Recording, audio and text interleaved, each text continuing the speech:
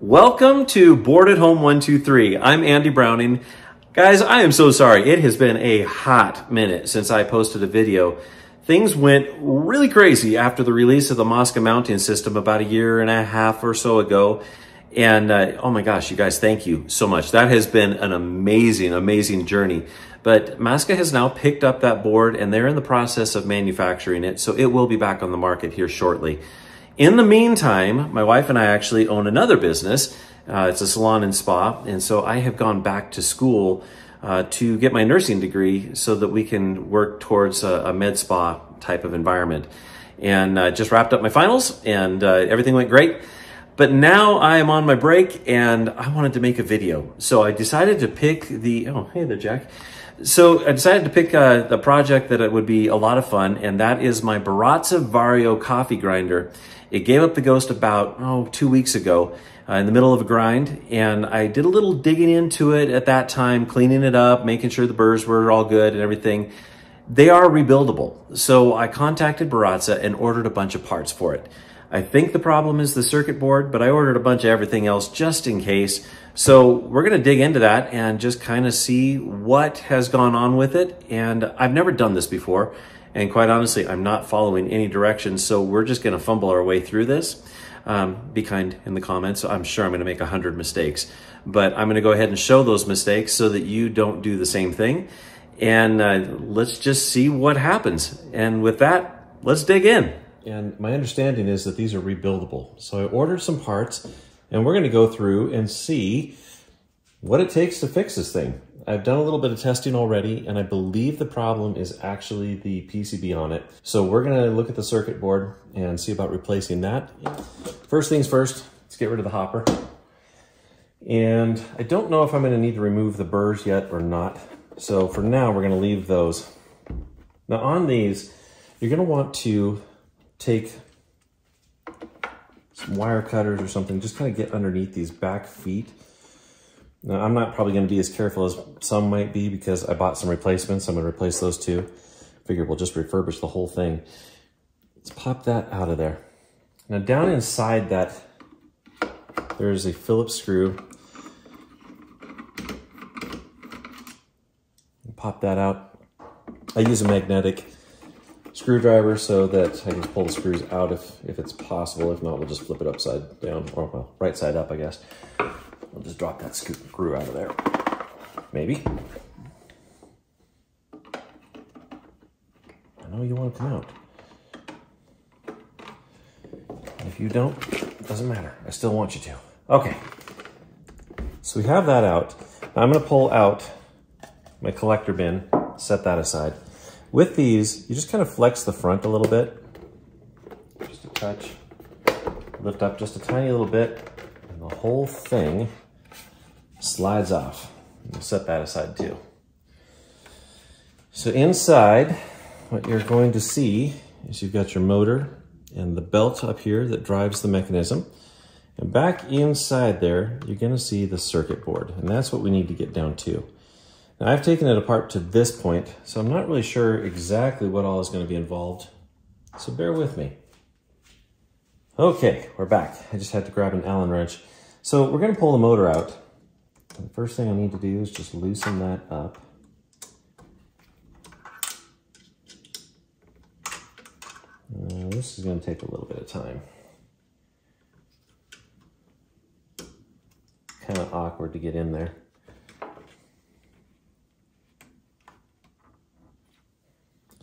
Yeah, there's not going to be a whole lot of rushing this part.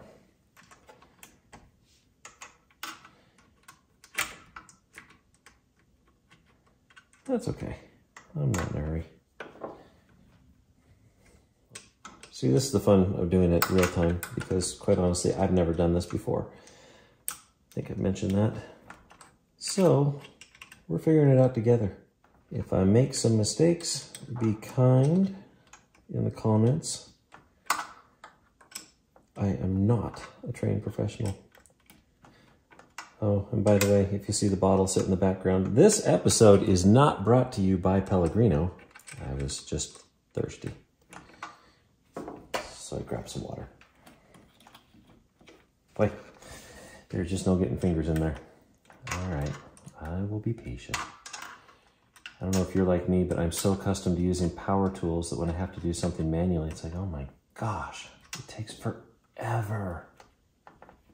Okay, and just like that, the motor is out. Okay, so looking at the way this thing is set up, I don't know that it really is going to matter too much which one is which, but we'll make sure that the black is over on this side. And the red is over on that side. And we're to set that motor aside. Because I think the motor's fine. I tested that and I think it's okay. Okay, so now we're in here to the board. And I'm actually going to release this wire really quick pull that out of there. And what else do we need to release? We need to pop that out. Pull it off to the side. Gonna pop this one out. Pull it off to the side, maybe. And no, that one just wants to be up here. Okay, so now we're going to release this wire as well.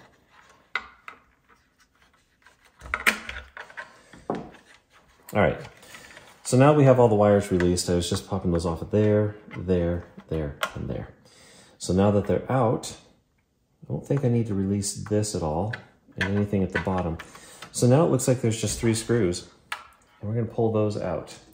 I have my little mini screwdriver that I'm using and we're going to put that in there. I think that's going to be about the right size. Yeah, looks like it's about right.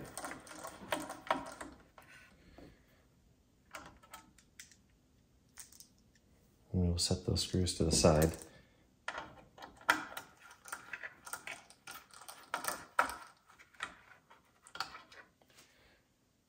Up there. There we go. And I think I think that's it. Nope, I missed a screw. There's one up here. Four screws. I'll pull that one out. Okay, now it's loose. And that's it. So I really don't know what has gone on with this, but uh, my grinder just was grinding along and then abruptly stopped, gave one last little heave, and that was the end of it. Okay, so now we should have some brand new parts. We'll set this aside for now. Let's see what the good folks at Baratza have sent me. Well, what I paid the good folks at Baratza to send me. Oh, by the way, this video is not sponsored by them either. This video is not sponsored. I'm just doing a thing at home. Parts and widgets and pieces. There's my replacement feet. I did get a replacement belt for it just in case I needed to. Not a bad idea to have some spares. There is a switch up inside where the hopper goes, right up here. I don't know if you can see in there, but that is, if that switch doesn't work, nothing works. So I got a replacement for that just in case. New wiring harnesses. And there it is, the new circuit board. Let's see what has changed. Honestly, this has been a fantastic grinder. I've had this since 2016 and it has just gone and gone and gone. Well, it has changed a bit. So there's the before. The capacitor is very different. And we're yellow, not blue anymore. Hmm. Other than that, looks about the same. Okay, out with the old, in with the new. So we'll set this aside for a moment. Actually, I'm gonna put this on the anti-static stuff. That one doesn't need to be anti-static, it's already dead. And last but not least, it's a thing. I didn't want to not have this thing because I didn't know what this thing actually did. And it was cheap. And I didn't want to have to pay shipping for something that small. So I got a thing Please tell me I'm not the only person that does that. I'll just drop the board in for now.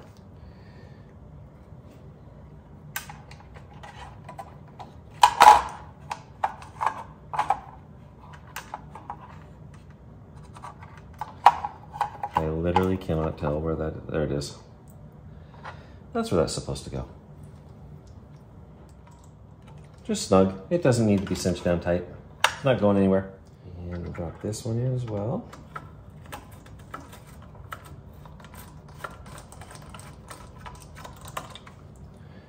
And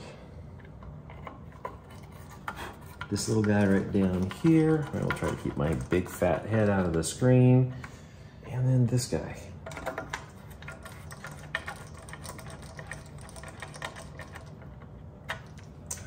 Okay, and just like that, we have a new board. So this one, the little part is on the top. So I'm going to take that, slide it on, not forgetting about our little friend here. Pop that in. Pop that in. And last but not least, I think my harness is fine I'm just gonna keep the other one for a future date if this ever does fry, then I'll have it. So we're gonna do this. And I might need a little help getting that pushed down in there.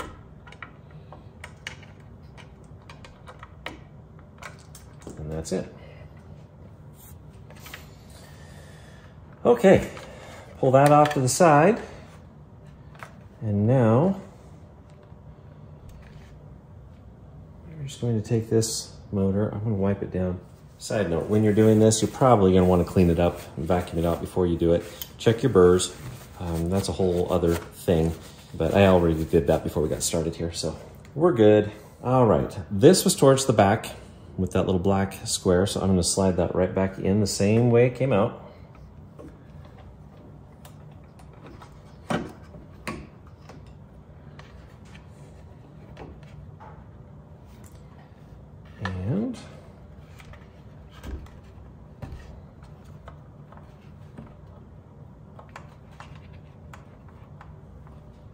Find where the screw holes are. There they are. This may be a treat. We'll see. Don't even tell me I got that lucky. I got that lucky. That's crazy. Okay. Thank you, Lord. That was kind of great.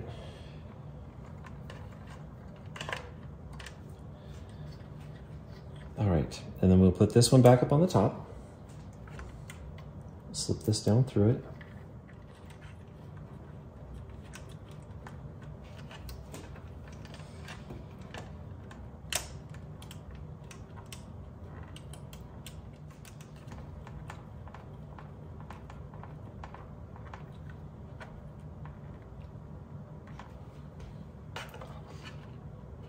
So that looks to be my tension adjustment right there. So we just kind of pull out. So what I'm doing right now is, as I'm sitting there, I can see that this is a pivot point and this appears to be my, my adjustment for the tension over here. So, or maybe it is, nope, this is my adjustment. So this is the adjustment for the tension on the left side. So what I'm gonna do is just pull it back so that it's taut on the on the belt. And we're gonna tighten this guy down just a touch, just keep it a little snug so I have something to pull against.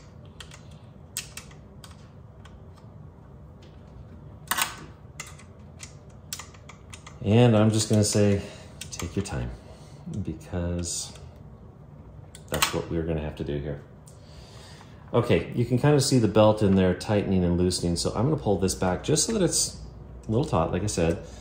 And then we're just going to take our time, snug this thing down. Okay, it feels tight. Now we need to hook up the motor. I believe it was black on this side.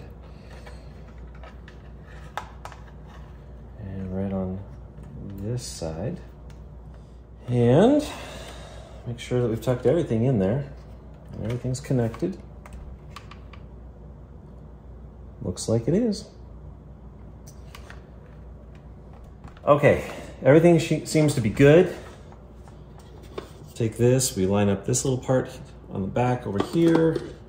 Take this and drop it down, rotate it so that that is in line with the notch there. That should activate it.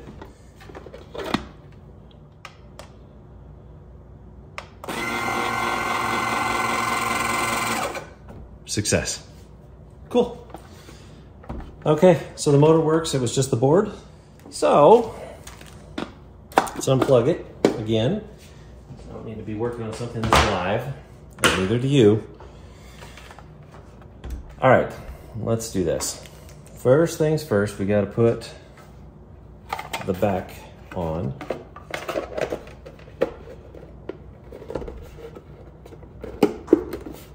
Slip that back in place flip it upside down and we will drop these screws back in.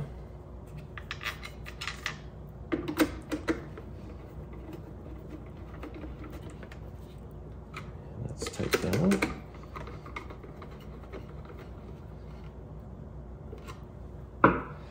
And something like this, I would recommend not using a power driver just because you can strip out that plastic. Now I'm gonna pull these out because I wanna replace them mine kind of are a little dirty and I, I just want to put in the new ones. Why? Because I can.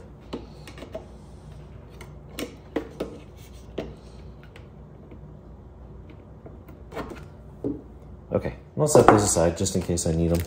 All right, new feet going in. That's one. two, and three,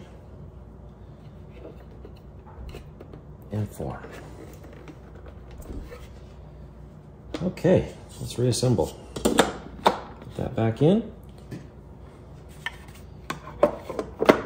Okay.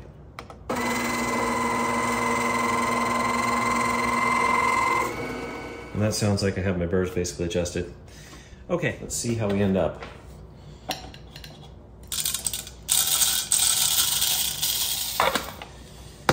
And let's go. We'll just do a double shot. I don't think that's grinding. So I think what I did is I, I think I did plug the uh, red and black wires in backwards on the motor. So definitely double check that. Don't make the same mistake I did, but I think, let's see what happens here.